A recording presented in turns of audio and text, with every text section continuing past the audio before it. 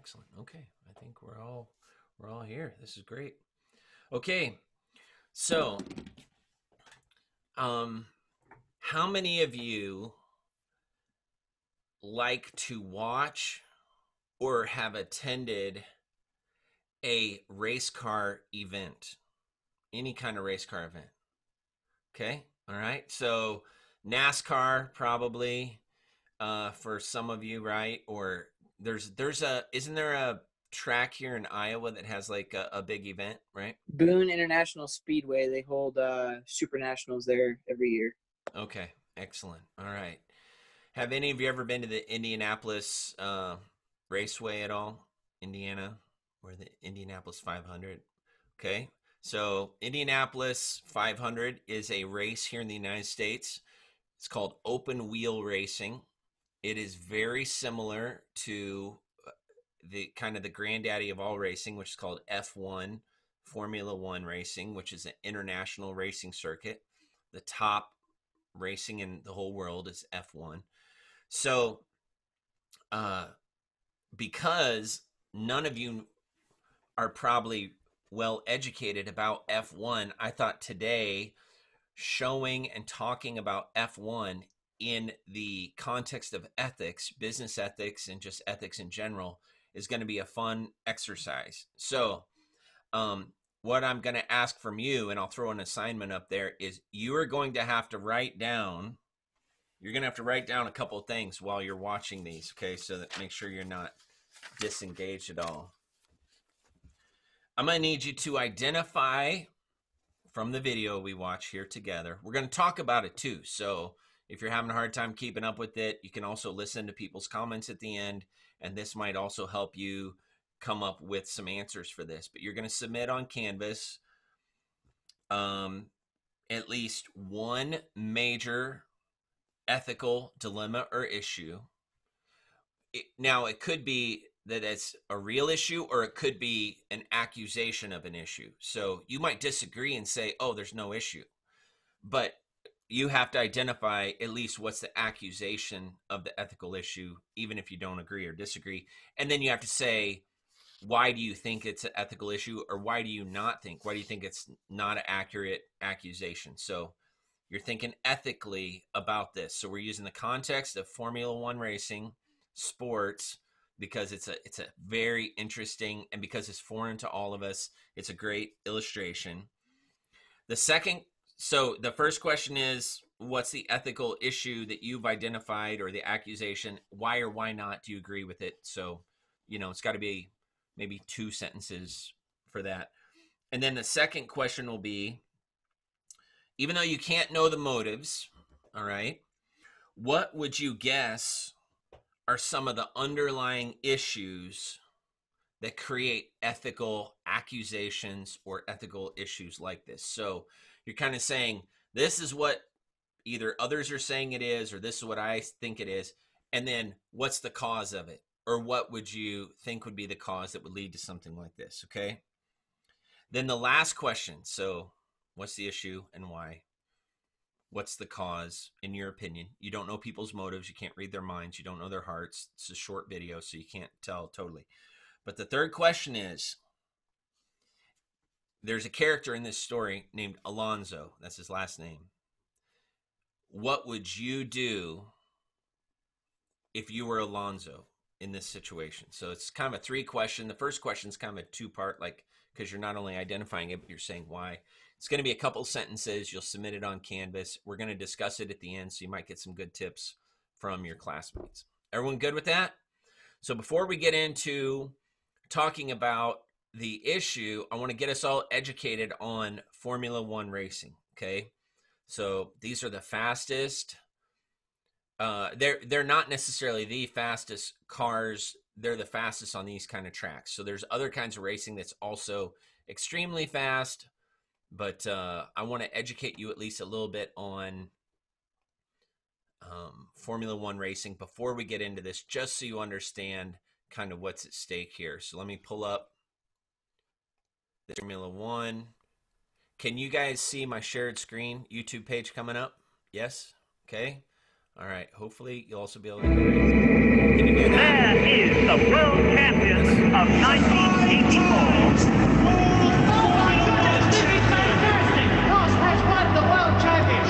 Thrilling, glamorous, and fast. Formula One is the world's most exciting sport, with 500 million fans all focusing on the 20 drivers and 10 teams vying for the glory of winning the World Championship. The action as we approach the milestone 1000th in China is as breathtaking as it's ever been. Rookies taking on the establishment with unpredictable results and drama both on track and off. Silverstone 1950 at the British Grand Prix ignited the world's passion for the new Formula One World Championship. Giuseppe Farina, the sport's first race winner and world champion. But his reign was short-lived, with Juan Manuel Fangio flat out towards greatness with five of the next seven titles for four different marques. The maestro wheel-to-wheel with Ferrari's inaugural star Alberto Ascari. The competition intensified at the end of the 1950s with the rise of British privateers like Cooper, Lotus and BRM, F1's golden era, a no-holds-barred dogfight in fast but dangerously fragile cars.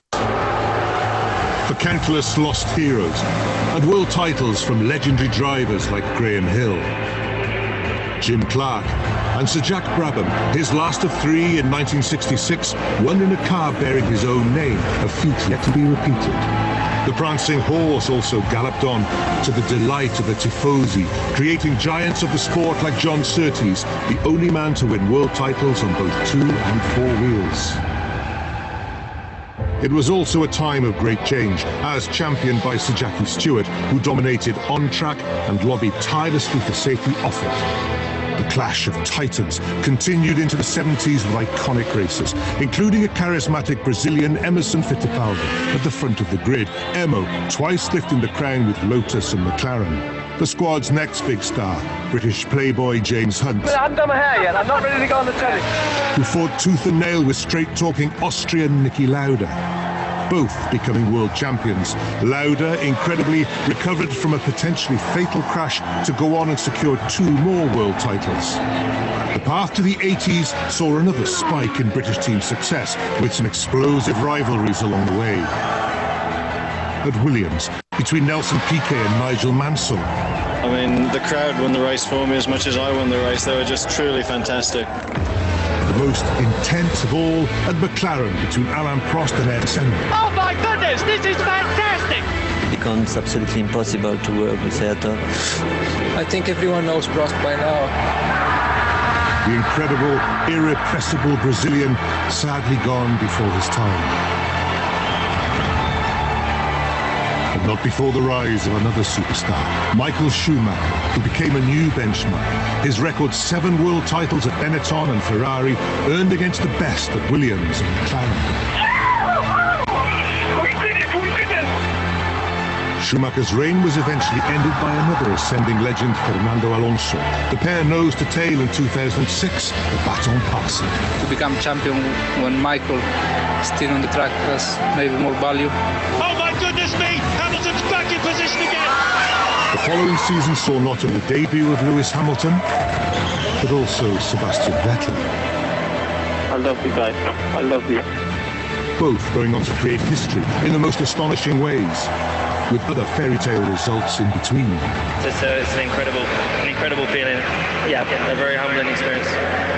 And with new blood flooding into the sport each year, the furious chase for the holy grail of motorsport continues, ensuring a thrilling spectacle as the world's most exciting sport rumbles on. 1,000 races in the making. From race 1 to 1000, Formula One cars have become state-of-the-art prototypes, sculpted beasts with road-relevant power units, capable of racing at up to 360 kilometers per hour. But these high-tech machines have transformed out of sight in 70 years. The earliest cars of the 1950s built around steel frames, and the engine in front of the driver, who sported a cloth cap before helmets into the 60s, and iconic designers like Lotus boss Colin Chapman worked on rigidity using tubular space frame chassis with engines bolted to the rear for better handling. Wings, front and rear, soon arrived. The quantum leap came in the 1980s in McLaren's MP41 that featured a strong carbon fiber turbo monocoque, creating a survival cell for the driver. Aerodynamics and supercomputers soon began to dictate design, with F1's turbo hybrid era beginning in 2014. In the modern age, Formula One is a global phenomenon, with the world's finest racing drivers going wheel to wheel at breathtaking speeds, each pulling up to 5G in corners and underbraking. It's a mouth-watering proposition for fans who watch from March through to December as the sport flies around the world to 21 destination races, including iconic classic tracks like Monaco, Spa, Monza, Suzuka and Silverstone. And more recent hits like Azerbaijan, Russia, Mexico, F1's original night race in Singapore and the futuristic season finale in Abu Dhabi. The excitement skyrockets as the teams touch down in a new location. The cameras flash as the stars of the show prepare for battle, all putting it on the line in pursuit of that rare coveted prize, the power, the prestige and glory of the Formula One World Championship. All right, let me uh, stop this here.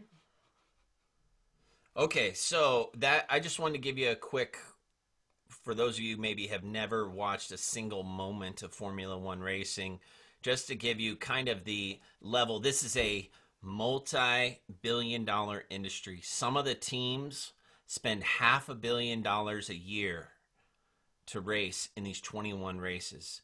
It is unbelievable the amount of money in Formula One, and that's going to play into this.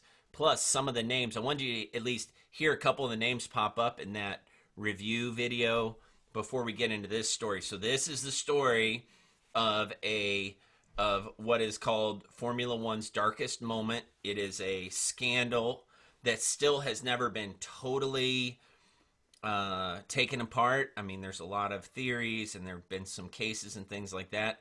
But this is the one I need you to uh, write down ethical issue, why or why not, um, what's the root cause or motive, and then what would you do if you were Alonso, who was in that video just a little bit. So you're going to see a couple different characters that you saw in that video as it flew through. So everyone good? Everyone can hear okay, right?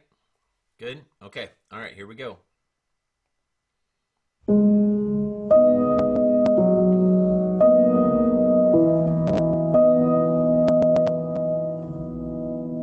Affectionately named Crashgate the events that follow in the story cover the Singapore Grand Prix from the 2008 season, and they're centered around Fernando Alonso, two time world champion, Renault Formula One team, and Nelson Piquet Jr., who hails from Formula One royalty, the son of Nelson Piquet Sr., three times over the world champion of the Formula One series.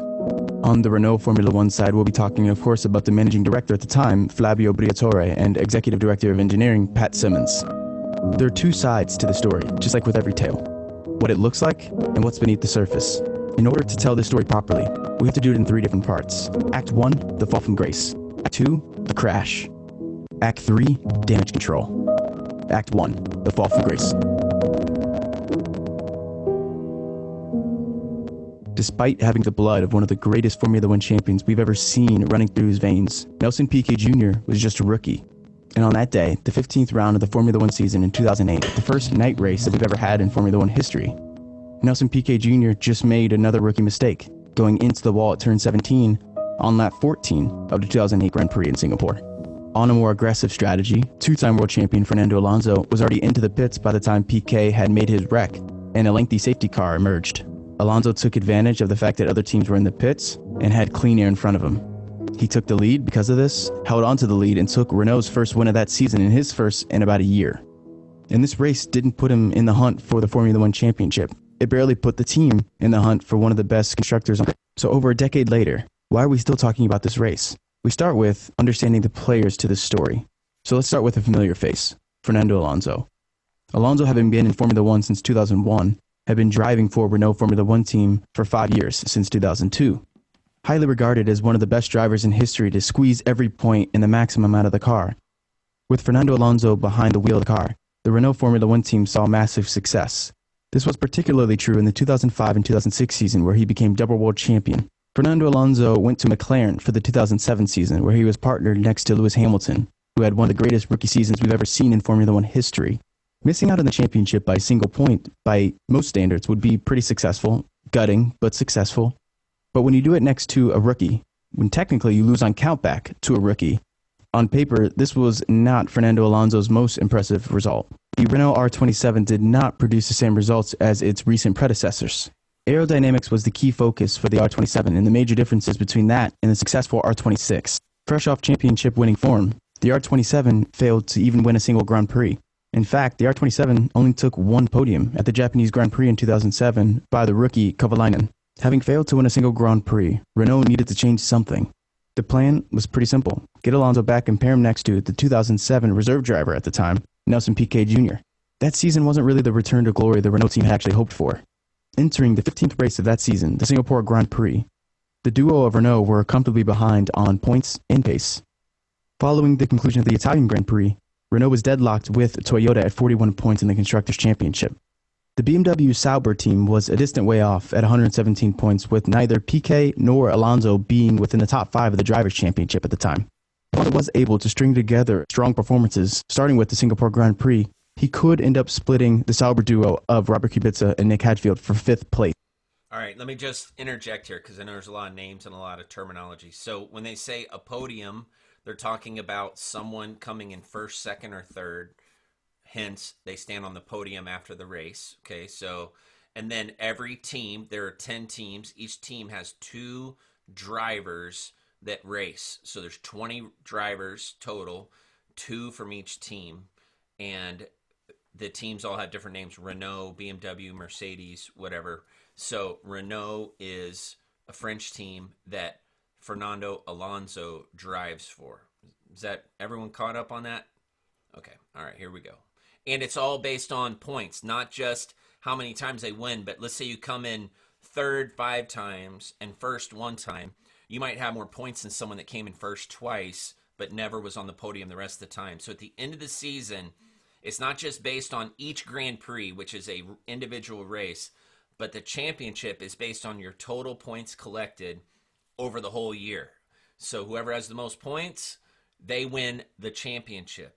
And then the team that builds the car, they get points also, and they have what's called the constructor championship. Basically, so the team, the car can win, and all the team that works on the car, and then also the driver can win for the whole season, or the driver can win just one race. So you can win individual races. All that's added up at the end to see who's the champion, and then also which team is the constructor champion. All right, back at it. Peace. With the background, the implications, and the importance of this Grand Prix set, we go into the next act. Act 2 The Crash. We begin this act on September 26, 2008. Team Alonso actually running well all weekend long, and even ending the final two practice sessions in first place. The following day in the qualifying session, Fernando Alonso continues his strong run, and it looks like he could actually land on the third row of the grid for the start of the race. But unfortunately, Alonso failed to progress further than Q2 in the qualifying session due to a mechanical failure in his R28. Accordingly, Alonso was relegated to the back of the grid in 15th place. The grid is just the starting order. They start in two rows of 10. The front of the grid is what's called pole position and number two, and it works all the way back. And because he did something, he broke some rule, they put him in the very back. So he has to start way back in the back basically like starting in the back of a pack for a race. It's going to be very hard for him to win the race if he's all the way in the back. So that's that's when when they're talking about the grid. It's next to his teammate Nelson Piquet in 16th. And while an aggressive strategy at Singapore makes sense if you're not necessarily from 15th place. But here's where the controversy really begins, because Alonso went with a strategy that was, at best, unconventional, and at worst, it was suspicious. Alonso opted for a two stop strategy, starting in 15th place, fueling up on a first stint of only 12 laps. If he was lucky, he had enough fuel to maybe make it to about 14 laps. For those of you who've never watched racing, a race is sometimes hundreds of miles, but the gas tank on a race car is not big enough to hold enough fuel to race the whole race. So you have to take at least one stop, sometimes two stops, to change out your tires because they get worn out and also to get more fuel or fix any damage that's happened to your car. That's called a pit stop, or they also call it pulling into the box, but it's basically coming in for a pit stop.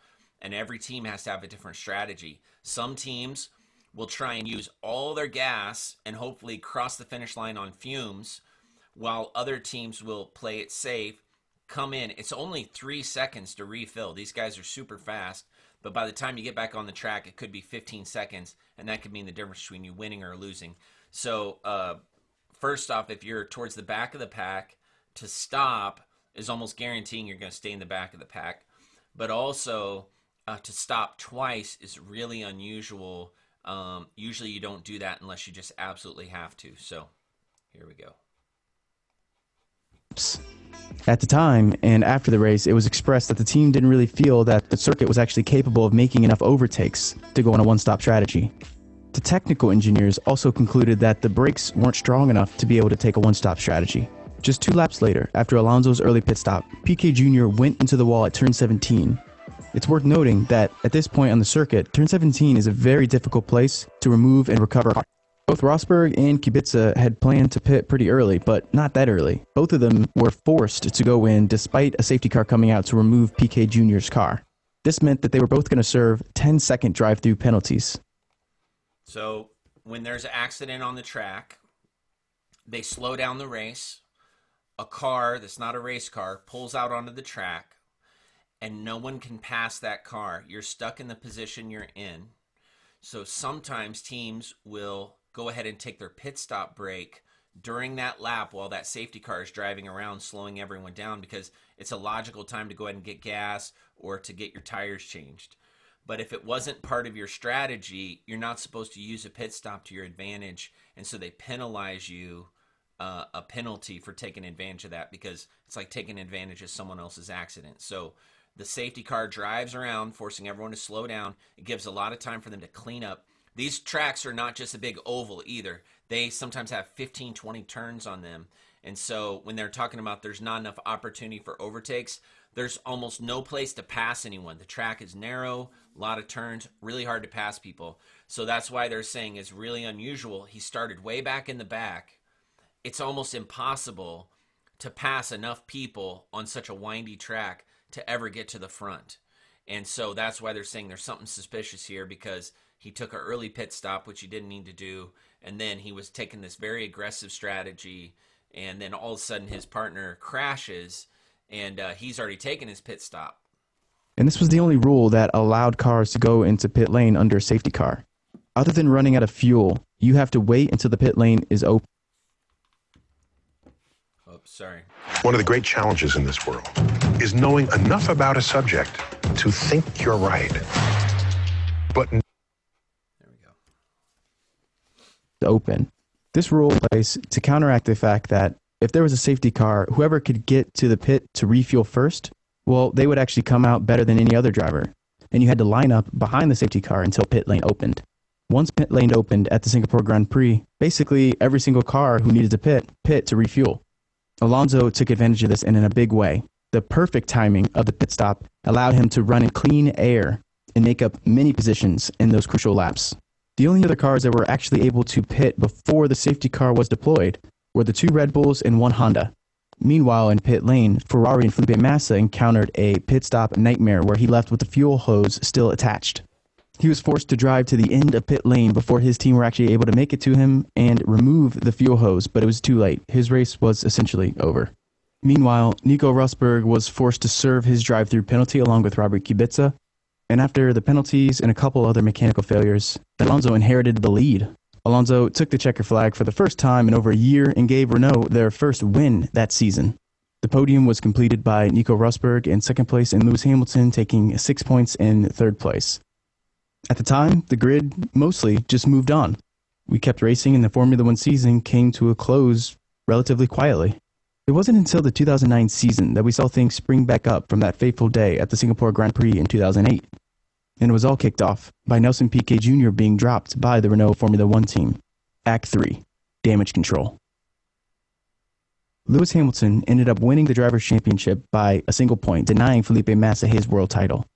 And due to the fact that, indirectly at least, Felipe Massa felt that that wreck at the Singapore Grand Prix cost him the driver's title, he raised some questions about the incident. But at the time, Max Mosley, who was the FIA president, dismissed them. They didn't really happen, and it was simply speculation.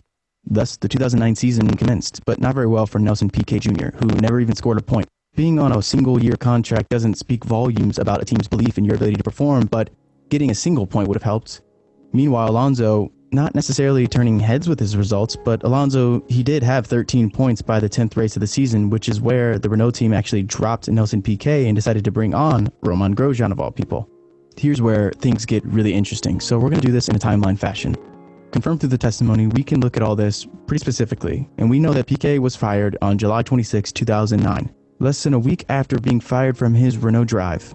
Nelson Piquet goes to the FIA to report the incidents from the 2008 Singapore Grand Prix. He claimed that Symonds and Briatore directly were asking him to crash on the 14th lap in order to give Alonso the edge. The events that played out at the Singapore Grand Prix in 2008 were exactly as they engineered and planned, and planned it was down to the very turn that they wrecked, knowing that the safety car would have to be deployed and it would be pretty lengthy. Alonso would use this time in order to separate himself and take maximum points, which played out perfect. And just about a month after he made the initial claims, Brazilian TV came out with a story that said that Piquet Jr. was ordered to crash at the Singapore Grand Prix. This forced the FIA into action of some sort, saying they were investigating quote unquote alleged incidents at a Grand Prix previous in the F1 calendar. They didn't actually say what Grand Prix this was, but it was pretty clear, at least to those questioning Renault's return to their winning form in Formula One. And after a swift investigation following the announcement from Brazil TV on September 4th, 2009, the FIA had concluded and officially accused Renault of conspiring with Nelson Piquet to fix the Singapore Grand Prix from the 2008 Formula One season. The governing body wanted to hold an official hearing into the matter and decided to host a meeting at the FIA World Motorsport Council. This was to occur just days shy of the one year anniversary from Crashgate, before they could even arrive at the council hearing in Paris on the 21st. Piquet gave his second public statement about the incident, while simultaneously it turns out that his first statement somehow was leaked to the press. The residing FIA president at the time, Max Mosley, was forced to respond.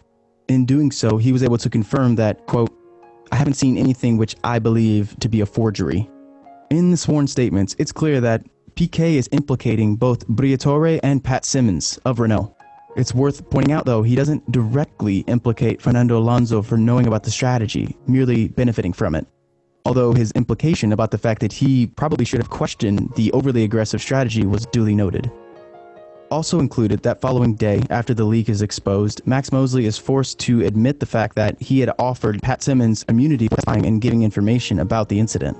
And the drama persisted as inside that same week, Renault counters with their own criminal charge, saying that they would be pursuing criminal action against Piquet and Piquet Sr., quote, concerning the making of false allegations and a related attempt to blackmail the team into allowing Mr. Piquet Jr. to drive for the remainder of the 2009 season. Immediately following the press release, details surfaced about the fact that Pat Symonds had just blown the case wide open. It was reported that he had spoken to FIA investigators and told them the fact that Nelson Piquet was the one who initiated the idea of crashing in the turn 17. So, in a way, it was 100% off the table by the middle of September that Renault was just not involved. That was out of the question. They were involved in some way, we knew for sure. And on the 15th of September, we see the Times newspaper actually publish records of the radio transmissions they had gotten a copy of.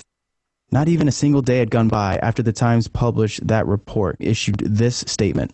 The ING Renault F1 team will not discuss allegations made by the FIA concerning the 2008 Singapore Grand Prix. It also wishes to state that its managing director, Flavio Briatore, and its executive director of engineering, Pat Symonds, have left the team.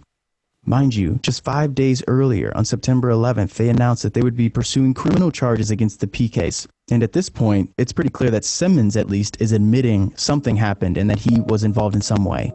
Briatore, on the other hand, is persistent that he had no hand in the matter and that he only resigned to protect the team. Despite the fact that Renault had actually come out and said they would not dispute the charges, that September 21st, 2009 meeting at the World Motorsports Council in Paris went ahead as scheduled. It essentially amounted to a sentencing hearing. The council decided that the most appropriate course of action to punish the team would be to disqualify Renault Formula One, suspended two years. As long as they stayed out of trouble and did not repeat any of these egregious offenses, then they would have two years. It essentially was probation.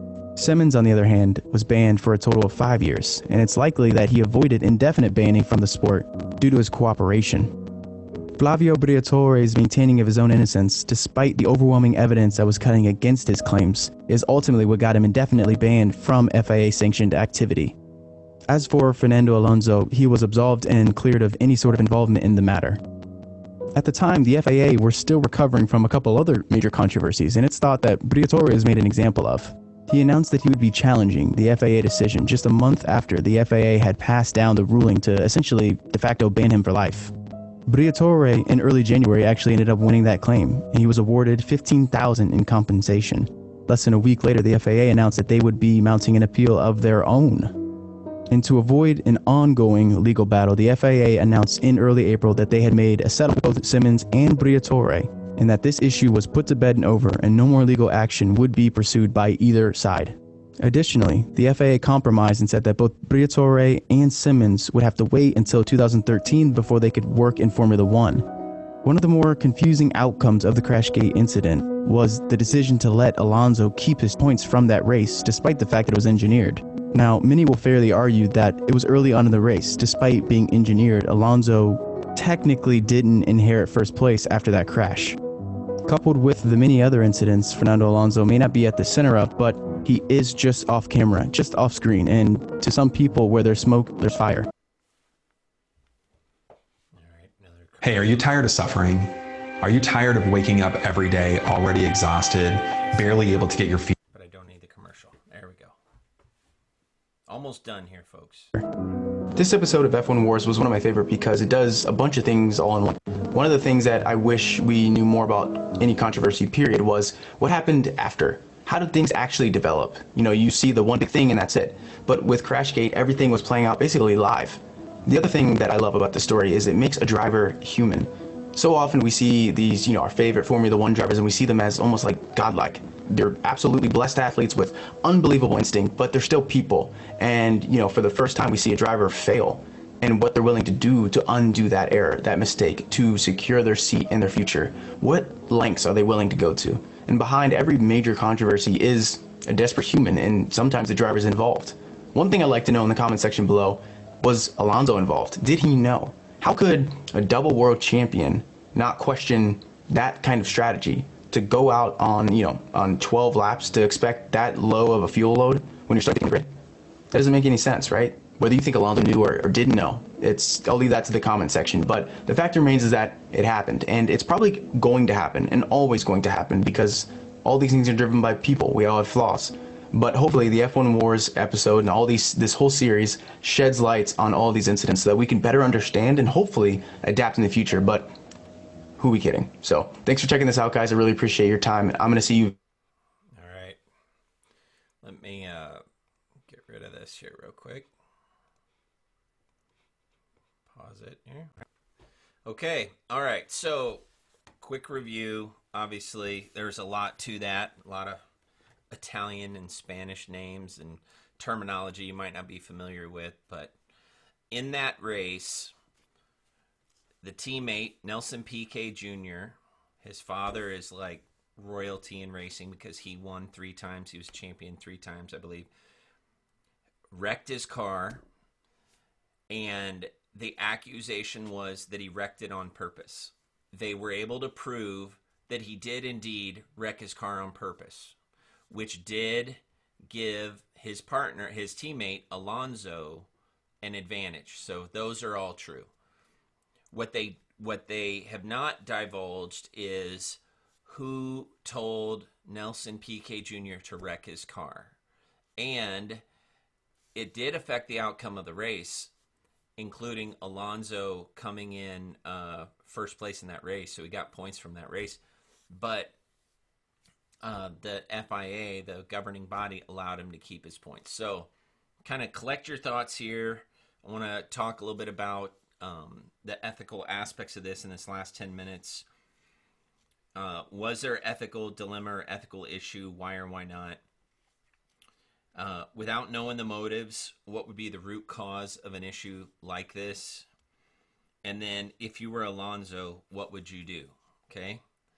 So, let's start off with the ethical dilemma or issue. Anyone want to throw out there what they think uh, at least one of the ethical dilemmas or ethical issues? And you might have to identify which party in the story is at the center of the the issue that you're identifying because there could be multiple depending on which party you're focusing on. Just unmute yourself and jump in. Uh, I think one thing that would involve a lot of consideration would be uh, the I forget what the governing body, the FIA, I think it's called. Um, at the end of it, they let him keep his points. I think that'd be something that is kind of something that needs a lot of discussion because whether the racer was involved or not, as I said, it still was engineered, and so it still kind of was an artificial victory, even if he wasn't a part of the planning. And so that would be something that that would be a dilemma whether they should allow him to keep his points, whether he was a part of it or not. Yep. Yep. Good. What else?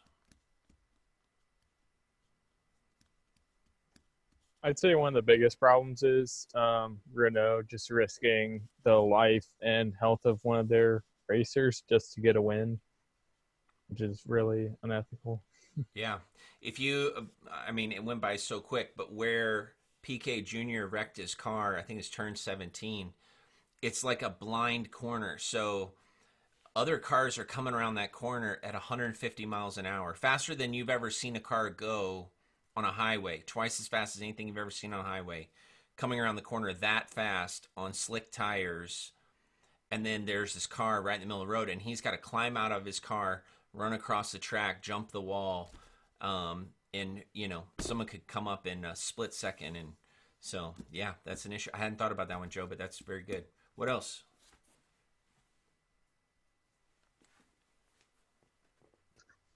I'd have to wonder uh, how um, how aware his teammate was for the um, the intent of his teammate because honestly uh, given that I given that um, my teammate was not aware of uh, the upcoming accident um, but yet it happens. Um, I think I, I would kind of, if I had no idea that that was going to happen, I don't see why I would choose to lose. I would take advantage of that just because that's all I know about. So, I mean, that would be a very hard decision to make because you would be making a lot of assumptions, uh, a lot of negative assumptions about your own teammate. And given that, depending on how how familiar you are with his his choices, um, I don't know. It I don't I don't know that it really noticed or uh, said anything about that about whether he was aware of that.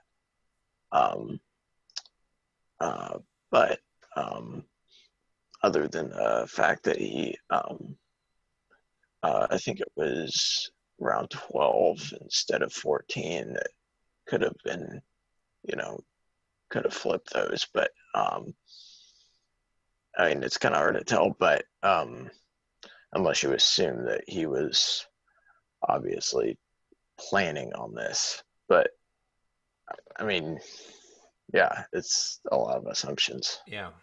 Well, and so um, in other sports, teammates help each other win, right? So even in NASCAR, I believe they'll work together, right? So they'll kind of box out and they'll they'll kind of protect each other and they might even decide ahead of time, hey, if we're at the front, this guy's gonna be number one and this guy's gonna be number two, and they'll or this you know, there's lady NASCAR drivers too. So these two drivers, one's to be number one, one's to be number two for the good of the team. They make those decisions. Something that's different in Formula One, which um, would explain why it went so long before it ever came up. Formula One racers don't work together normally. Most Formula One racers, two drivers for the same team, on eight out of the 10 teams, hate each other and if they have a chance to beat each other, they will every single time. So, matter of fact, that's what uh, different historical racers say is like, hey, if there's an opportunity to pass someone, I will do it. every time. It doesn't matter what's going on. And so that's kind of the mentalities. They don't necessarily normally conspire to win a race together because everyone's actually going for first place. It's not like they're going for first and second place or they want their their um, team to win the constructors championship as as a car. They want to just win and their longevity and, and their career and their finances are all directly dependent on their own personal winning. So anyone else want to comment on the ethical aspect? All right, so let me let me ask. Uh, let's get let's get one of the ladies chime in here. So without knowing the motives, you can't read their minds or know what's in their hearts. What would be the root cause of an ethical failure like this if it was indeed an ethical failure? What would what would lead to that, or what would be like a root cause that would um, create this kind of scenario?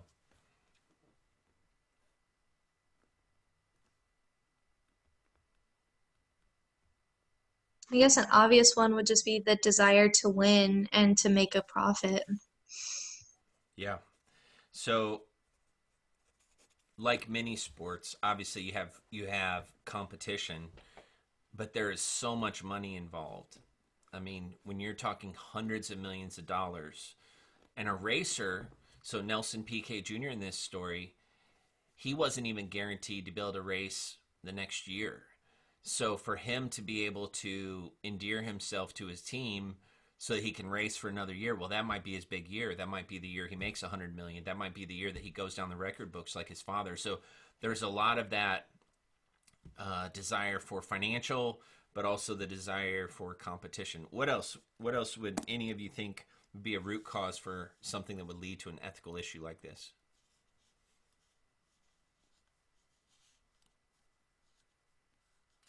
Noah, what do you think?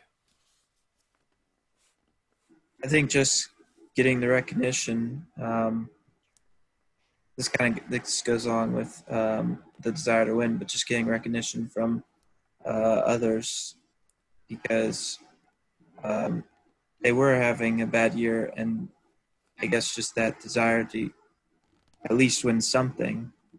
Um, I don't really know. I, yeah, it doesn't make sense to me. Like if you're not, I mean, I would never cheat, but if you don't have a chance to get first, why would you, or to win the championship, why would you even care about cheating? I, yeah.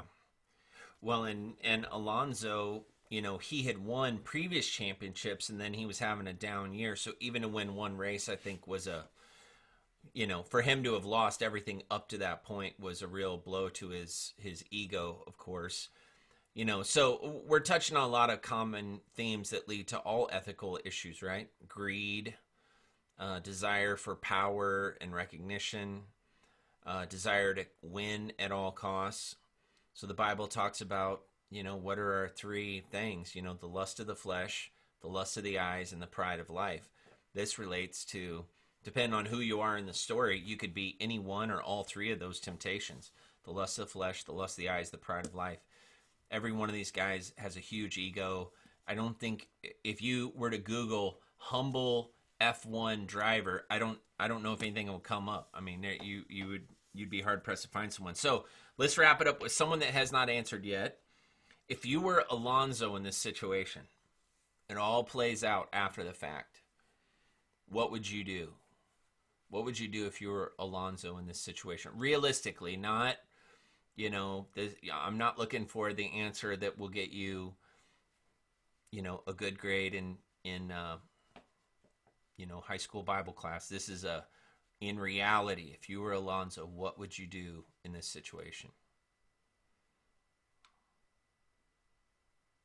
I mean, if I was him and like we're not doing the whole biblical like what's the right response to have, I would just try to lay low and keep the points because if they're not like pointing fingers at you saying you didn't get involved, then I would just keep it because that like in their mindset if they just want to win and get to the best position, then why would they speak up and give up those points necessarily?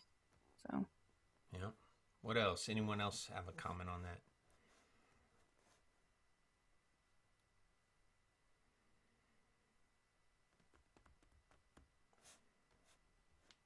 So Alonso was never convicted of anything, right? So he was exonerated. of not knowing about any conspiracy. He benefited from Nelson Piquet Jr.'s decision to wreck. But what they determined was he did not win the race only because of that. He also had, still had to drive well. He had to not wreck his own car. He had to pass a few people along the way. So Nelson Piquet Jr.'s decision hurt the other drivers, and it did help uh, uh, Alonso, but it might not have helped him enough to win without his own talent.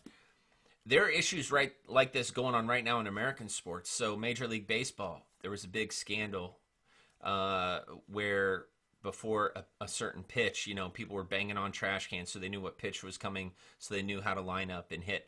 There's been football scandals. There's all kinds of scandals, and they all kind of come from the same place. I was looking up. I was curious if there were any Christian F1 drivers. There's a couple Catholics. Carlos Sainz Jr. is a is a Catholic, and he actually drives for Renault now. But Alonso, interestingly enough, when I looked up Christian F1 drivers, the first thing comes up Alonso, atheist. He he made a statement in a magazine a couple years ago. He's never believed in God. He doesn't believe he needs anyone else's help. It's all about him out on the track. So you think about his worldview, even if he's a moral atheist, you know, someone that believes in the golden rule, he probably has no reason in the world. What can he do? He can't give the. There's no way for him to give the points back. There's no vehicle for that. There's no way for him to. Um, he could maybe make a public statement. That's that's the only thing I was I was trying to put myself in his shoes. If I genuinely knew that this was a possible issue, he could possibly make a public statement, you know. But he can't sue to have the points taken away from himself and he has to be you know he's part of a team and so you know if he truly isn't culpable but other people on the team were punished for their role in it then maybe he made the right decision. Just be quiet about it and keep driving and maybe he's innocent. You'll never know. That's that's the thing. So these these things have little they're they're they're shades of this. Um, obviously, as a believer, you want to have the best possible testimony. You would never want to put yourself in that situation, but uh, you would want to identify early on. And like we've talked about other other times, you need a high level of accountability as a Christian leader. So, anyway, very interesting topic. And uh, you can go back. I linked, if you go to the playlist for this class on YouTube on my channel, I have both those videos linked. So if you need to go back and refresh your memory a little bit, um, you can go back and watch those and scan through them. And the the little review video will make even more sense to you now because some of the characters you'll go back watch that you'll be like, oh yeah, that's the guy. Oh yeah, that's his dad. So you'll see that in there as well. So okay, I will put the assignment on Canvas in the next 15 minutes so you can complete it if you're like sitting at your desk and you just want to get it done. Um, Jesse, David, gonerman Huang, thank you for joining class today. Appreciate it. Yeah, thank you. All right, great. I'm just glad I didn't hear snoring coming from your microphone there. So, all right. And uh, everyone else, thank you also. We will see you later.